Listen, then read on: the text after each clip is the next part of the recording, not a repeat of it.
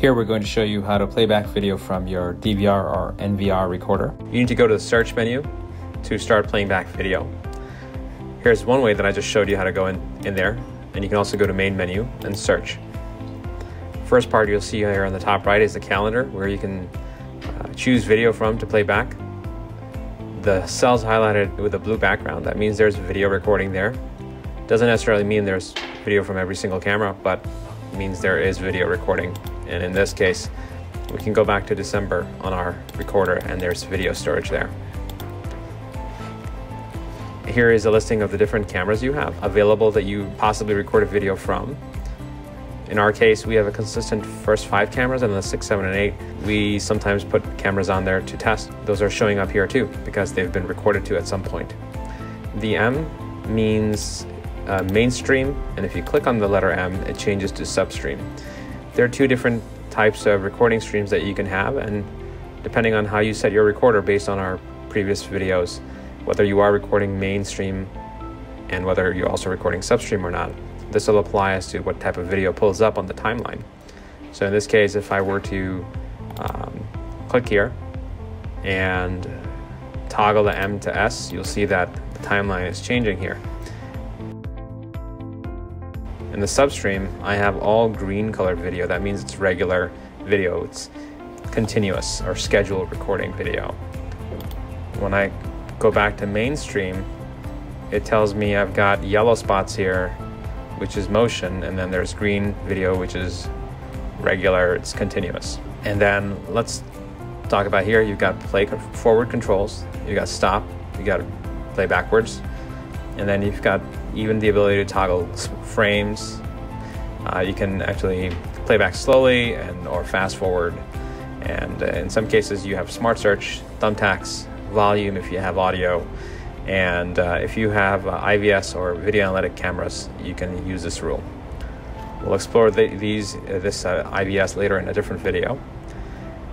This is a snippet tool. we'll discuss that on when we in the next video on how to download video. And this is a save tool to save to a USB.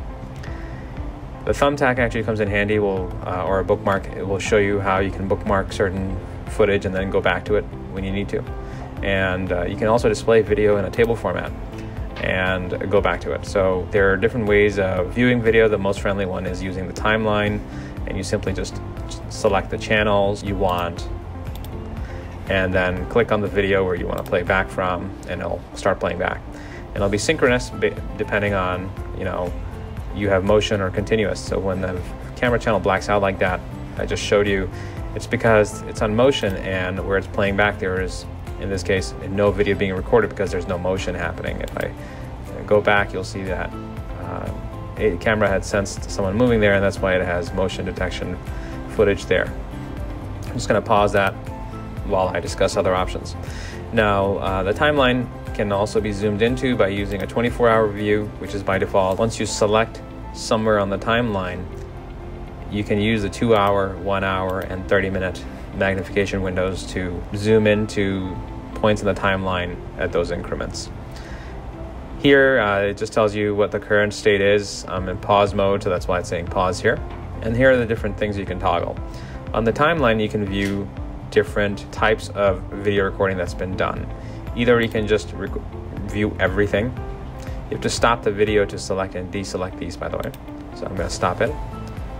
And you can uncheck everything and choose to just play back only video that was recorded on the regular schedule, which is um, either calendar based or 24 7 recording. And then alarm is rarely done because you have to tie in a external PIR motion sensor to record um, alarm-based inputs. And most DVRs and most consumers are not using that feature. The motion, this is using a camera or video-based motion detection to capture changes in pixels on the picture and start recording. So in this case, our uh, video recorder sensed that there was someone moving here so if I zoom in, pause, you'll see that it's only noticing motion happening on this one channel. Now if I were to switch channels 5 and 4, I have to stop first. You can also stop by right clicking. If I were to change the stream and play back there,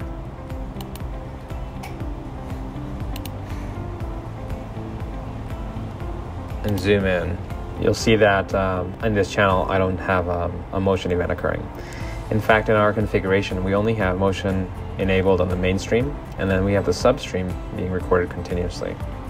You can also choose to either play in sync mode or not. So for example, if you uncheck that, and let's say I am playing back continuously, I can play back channels at different times and allows me to have complete freedom of where the cursor is when playing back. And here you see every camera is on a different uh, time.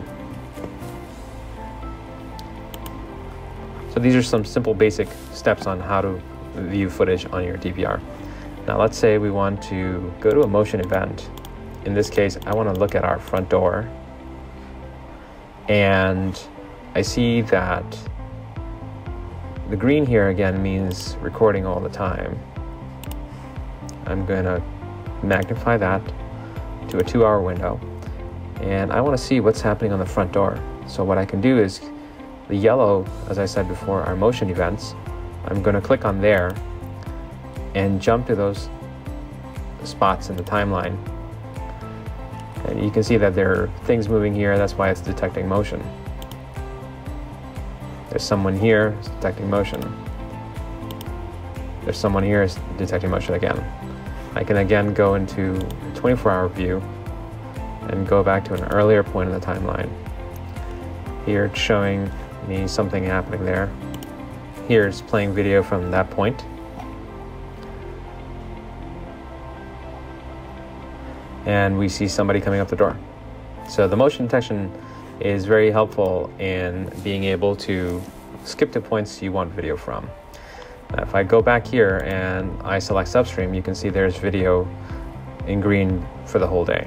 Now another thing you can do is when you're viewing one camera, it's really easy to digitally zoom in.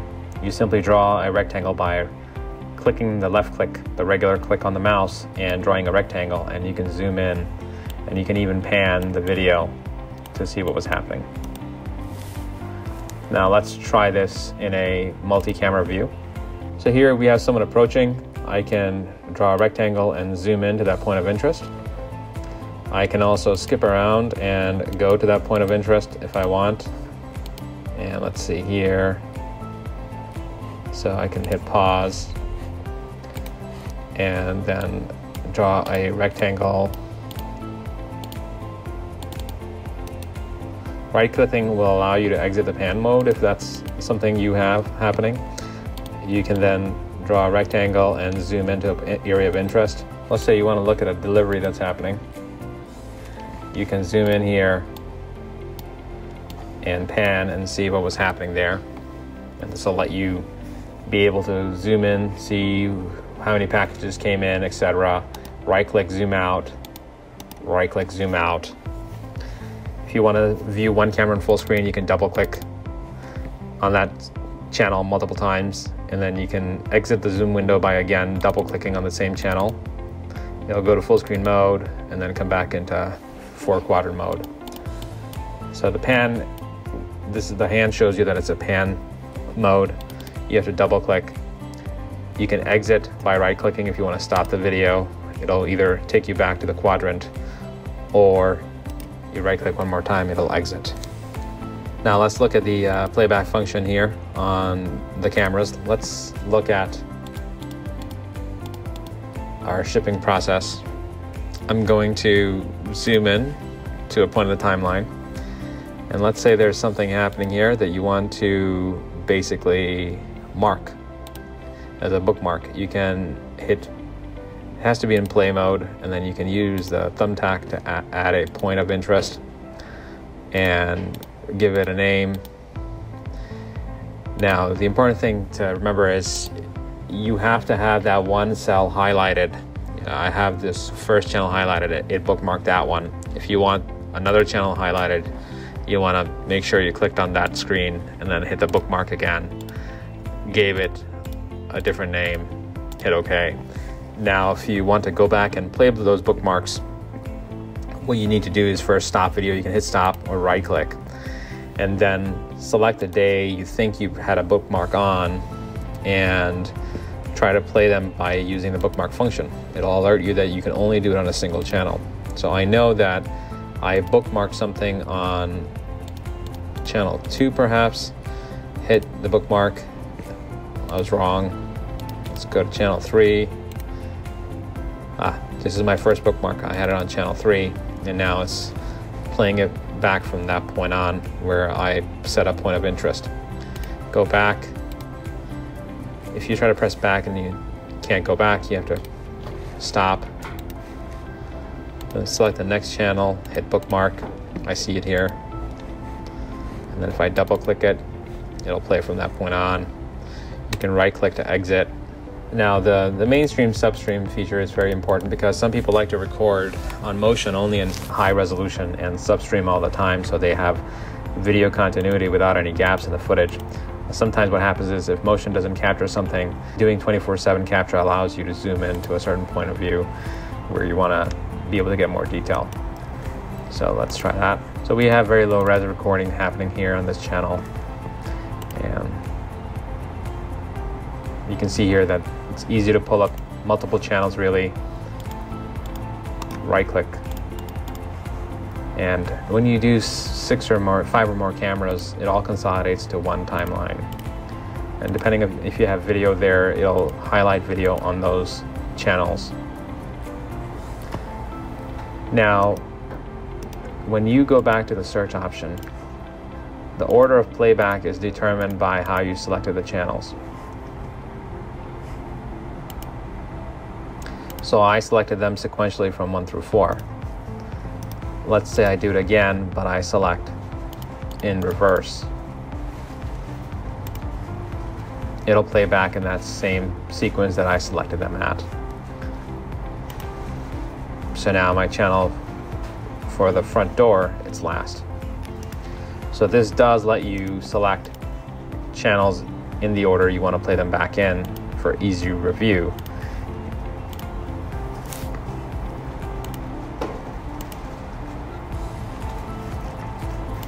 Just like so. Another way to playback video is using the table function. If you've selected a certain channel, it's only for single channels, by the way, and let's do our packing station.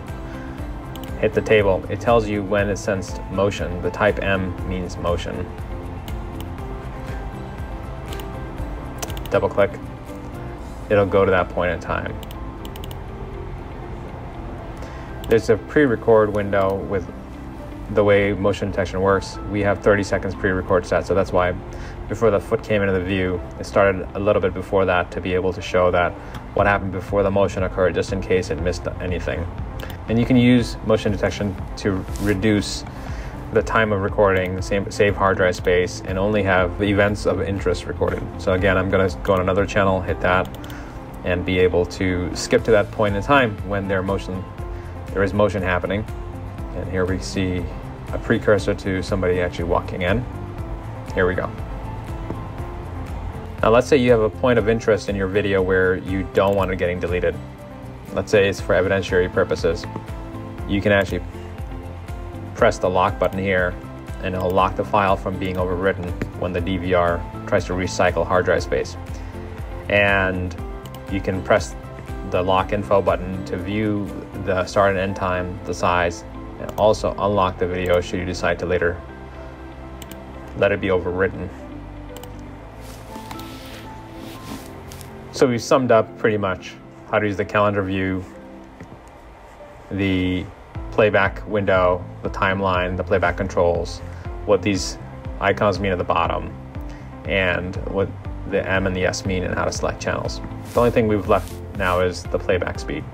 So now I'm going to show you the playback speed options. Here we have two channels I have selected to monitor a process. And I'm going to zoom in,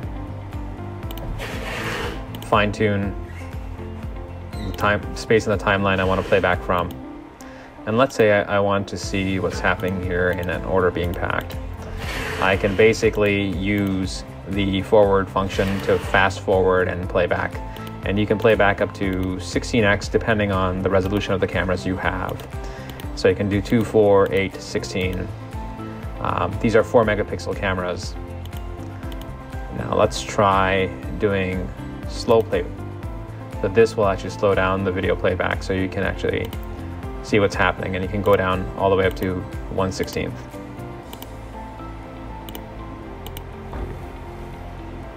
You can also do reverse play and play backwards. And what it will do is um, play back frame by frame. And here, notice that it's in sync mode. Now, if I want to manually control frames happening, you have to be in full screen view. You have to stop the video, go back in that point of the timeline.